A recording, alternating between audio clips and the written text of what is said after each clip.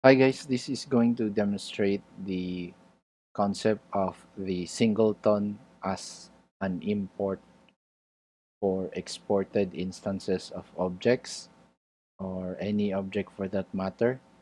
So basically what happens if is if you import any object in ES6, it will become a singleton.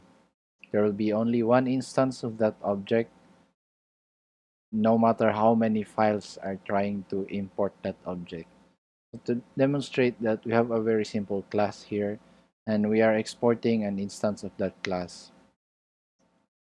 In our index, uh, let's deal with that class. So that would be the singleton object. Let me comment out the rest.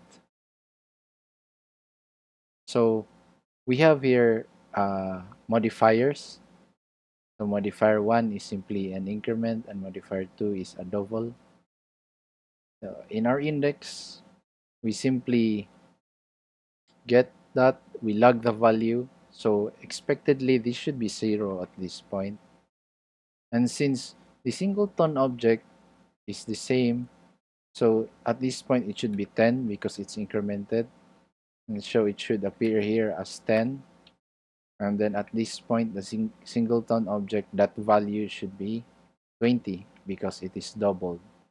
So modifier 2 simply doubles the value field of that object. So basically after this demo it should be uh, 20 so let's uh, run this quick demo. Let's clear that out and start debugging we go to the console, we see here that it is 20. So here the index is 20. So to demonstrate another aspect of this is that if there are many files modifying a singleton object that has been exported,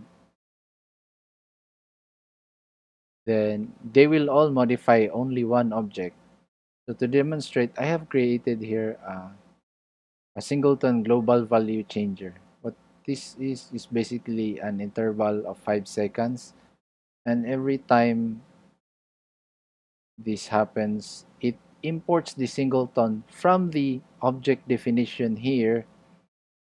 So it imports this and then the modifier from here and then does the modification. So it basically doubles whatever the value is in the sing singleton object and then prints it. And then there's another modifier that happens every 2.5 seconds. Let's change that to 2.5 and this one to 10. I10 and this will be interval I2.5 so that we can observe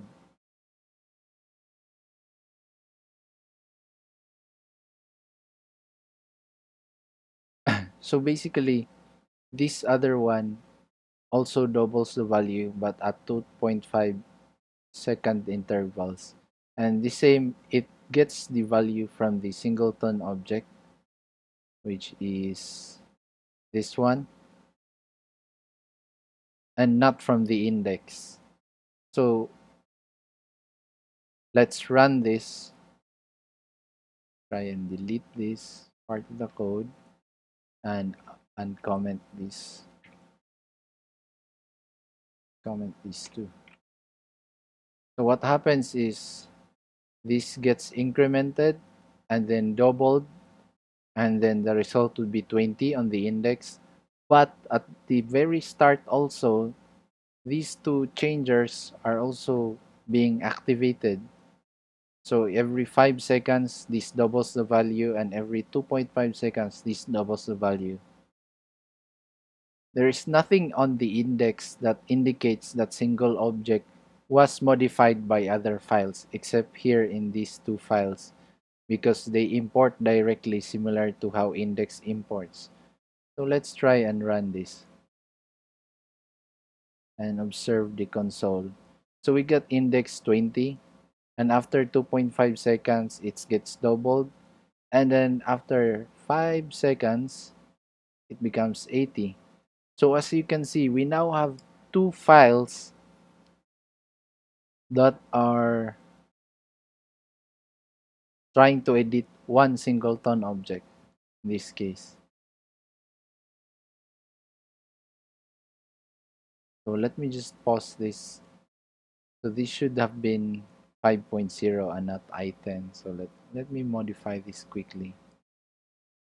5.0, this one is 2.5.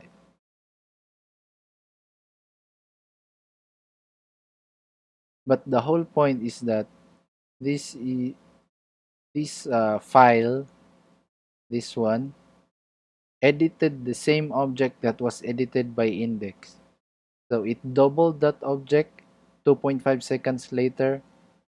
And then the other file, this one, now i5.50, previously i10, edited the object that was edited by this file because they are all sharing one singleton object. It's like it's comparable to a static class instance in C Sharp and Java. So that's how import works in ES6.